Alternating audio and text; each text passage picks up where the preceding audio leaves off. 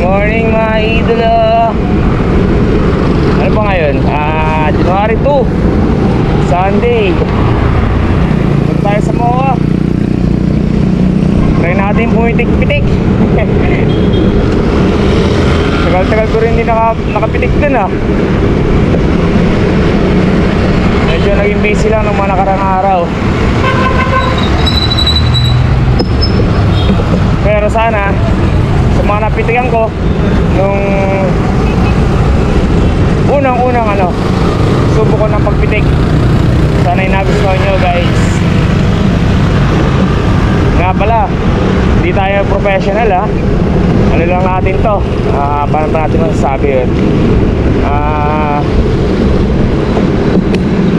libangan lang ba? Kumbaga natuto lang tayo sa photography sa panonood sa YouTube. Pero syempre kung may magtuturo much better. Di ba?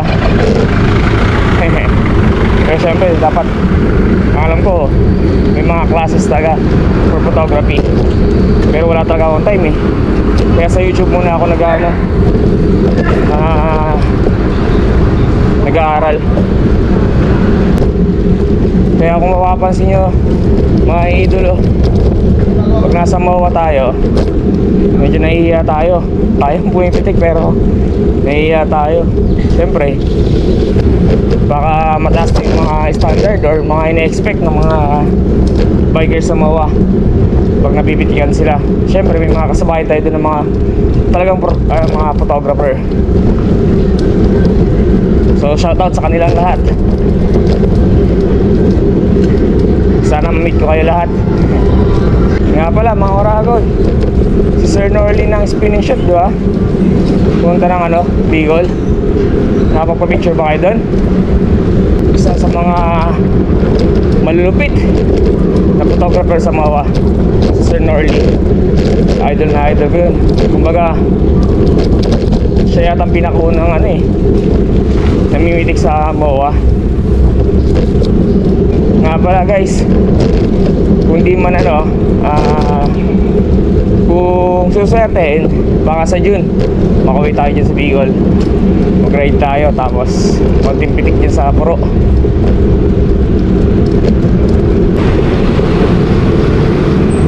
Nararamdaman ko maraming tao ngayon sa MOA Yun oh Yata tayo.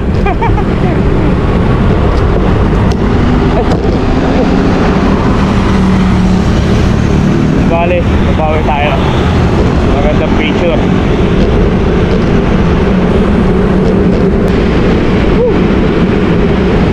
Lamig guys. Sarap. Pero syempre, kung nagbabike ka, hanapin mo rin yung ano eh, konting init. Ganito, pag ganito kalamig, parang hindi ka papapawisan eh. Hirap ng ganito. Baka nagtataka kayo guys ha. Bakit wala tayo sa bike lane? Mga bike lane kasi dito sa parteng Harrison, lubog-lubog. Kung di man lubog-lubog, may mga commuters may mga nakapark at may mga drainage na mga ano yun no mga lubog-lubog. So delikado. Mas safe dito sa may labas. May sabi sa inyo may mga parking. Pero syempre huwag kikita masyado. Dito ka lang sa may ano second lane sa outer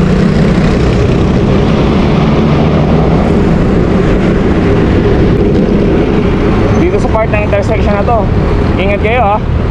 Bigla bigla may sumusupot na kotse dito. Paano? Wala namang ano wala namang stoplight. Pero pinayagan nila lumusot doon sa may parting kaliwa pupuntang Manila. Eh dati bawal yon sa flyover lang sila dumadaan. Hindi ko maintindihan kung bakit pinayagan nila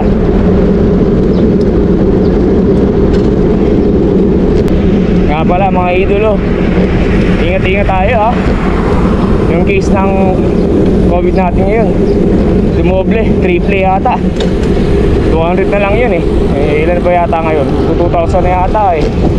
Kaya ingat, ingat.